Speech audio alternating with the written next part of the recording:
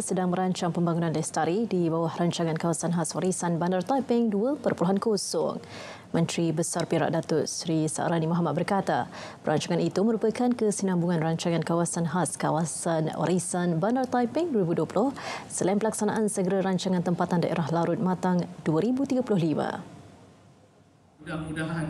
Program Tumpuan terarah memelihara bangunan warisan menerusi pendekanan kelestarian warisan sejarah dan budaya serta peningkatan kepada aspek penguatkuasaan pemeliharaan bandar. Dalam masa sama menjaga kualiti reka bentuk warisan sejarah daripada mengalami kemusnahan nilai seni binanya.